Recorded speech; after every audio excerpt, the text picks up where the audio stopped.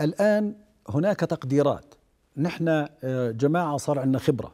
يعني نحن نعلم كم تساوي قيمة اللوحة في الشارع. مم. نحن نعلم كم يكلف آه، ال- ال- المقر الانتخابي. نحن نعرف كم آه، صرف هذا الناخب تقدير هذا المرشح تقديرا لما هو هو أمام أعيننا. يعني هو يستخدم المال لغايات الدعاية الانتخابية. نعم. أو القائمة تستخدم هذا المال لغايات الدعاية الانتخابية. تمام طيب هي الدعاية الانتخابية مش معروفة الأسعار؟ هذا إذا كان يريد أن يتجاوز السقف أو يريد أن يتحايل على القانون. القانون اعطاه سقف معين أو ال- النظام التعليمات التنفيذية أعطته سقف معين يمكنه أن يتجاوز بطرق مختلفة. لكن أيضا نحن نستطيع أن نراقب هذا الصرف من خلال البنك لأنه هذا ليس حسابا سريا هذا حساب مفتوح. نستطيع أن نطلب من البنك تقرير مالي ونأخذ هذا التقرير ونراقب ال- الصرف المالي وحتى ما يدخل وما يخرج من هذا الحساب. هذا حساب معلن معلن طبعا الهيئه المستقلة للانتخاب ولا للقائمة. آه، أمر آخر.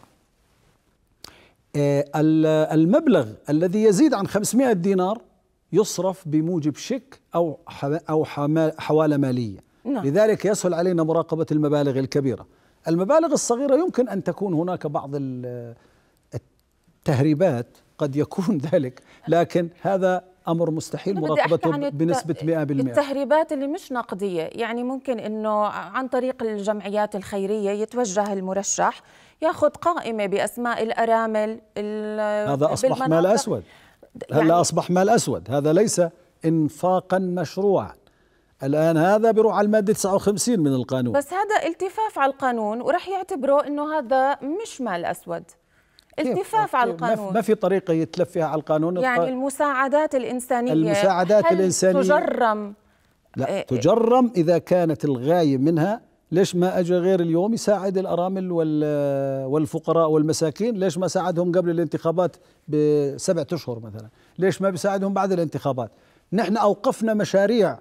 مشاريع كانت لمناطق لأن نوابا ادعوا أنهم وراء هذه المشاريع. أوقفناها. نحن الهيئة المستقله للانتخاب بالتنسيق مع الحكومة ومع مؤسسات الدولة المتعاونة وأوقفنا مشاريع لمجرد شبهة إنها تستخدم لغايات الترويج لهذا النائب أو لغيره. وهو نائب مترشح طبعا يعني ليس ليس بنائب أصبح. الآن أصبحوا كلهم سابقين. طيب سيد جهاد المواطنون دائما قلقون بموعد الانتخابات. يعني إذا تفاقم الوضع الصحي شو خططكم لذلك؟ نحن وضعنا خطة في حال تفاقم الوضع الصحي. يعني الخطة التي وضعتها الهيئة والتعليمات التنفيذية هي تعليمات تنفيذية استثنائية. عمليا هي عملية خطة طوارئ. يعني نحن نجري الانتخابات في ظل جائحة. نعم. لكن لنفترض أن هذه الجائحات يعني تفشت بصورة يصعب معها إجراء الانتخابات. شو رح يصير؟ عندئذ نحن كهيئة مستقلة للانتخابات أمامنا خياران. إما أن نغير موعد الانتخابات وهذا من صلاحياتنا وإما نترك الأمر لصاحب الأمر جلالة سيدنا هو الذي يؤجل الانتخابات. لكن دائما وأبدا نحن جزء من الدولة الأردنية سلامة وصحة المواطن هي أولويتنا مش الانتخابات بالمناسبة يعني. نحن صحيح الجهة التي تدير وتشرف على الانتخابات نعم. لكن سلامة المواطن الأردني أهم من الانتخابات. فإذا كان حياة المواطنين سوف يتهددها آه، هذا الفيروس وتصبح الانتخابات بؤرة لا سمح الله لانتشار الوباء.